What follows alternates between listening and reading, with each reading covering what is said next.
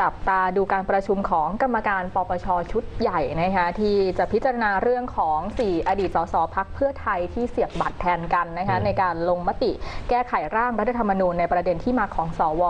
และก็เรื่องสลับร่างรัฐธรรมนูญในสมัยของคุณยิ่งลักษณ์ชินวัตรนะคะซึ่งหากมีหลักฐานพยานครบถ้วนเนี่ยก็สามารถที่จะชี้มูลความผิดได้ทันทีค่ะ มีรายงานจากข่าวจากสำนักงานป้องกันและก็ปราบปรามการทุจริตแห่งชาตินะคะหรือว่าปปชค่ะว่าในวันนี้ที่ประชุมใหญ่ปปช จะได้มีการพิจารณาเรื่องที่คณะอนุกรรมการไต่สวนข้อเท็จจริง กรณีกล่าวหาอดีตสสพักเพื่อไทยจำนวน 4 รายนะคะคือนายคมเดชชัยศิวามงคล อดีตสสกาลสิน นายนริศรทองธิราช อดีตสสสกลนคร นายยุทธพงศ์จรัสเสถียร อดีตสสมหาสารคาม และนายอุดมเดชรัตนเสถียร อดีตสสนนทบุรี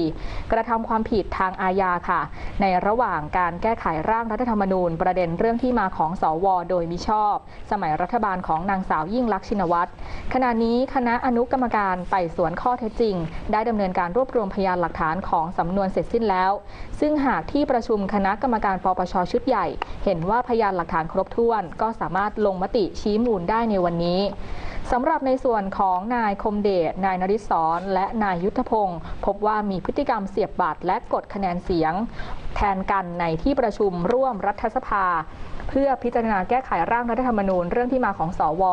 ขณะที่นายอุดมเดชพบว่ามีพฤติกรรมสลับร่าง แก้ไขร่างรัฐธรรมนูญนำร่างรัฐธรรมนูญ ฉบับใหม่ที่มีเนื้อหาไม่ตรงกับฉบับที่มีการเข้าชื่อเสนอ ขอแก้ไขไปเปลี่ยนใช้ในวาระรับหลักการ ถือว่าเข้าข่ายความผิดต่อตำแหน่งหน้าที่ราชการ และความผิดตามประมวลกฎหมายอาญาด้วยค่ะ